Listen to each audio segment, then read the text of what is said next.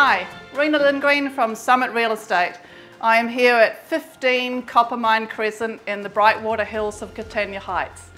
You get four bedrooms, amazing open plan living, great kitchen, and even a media room.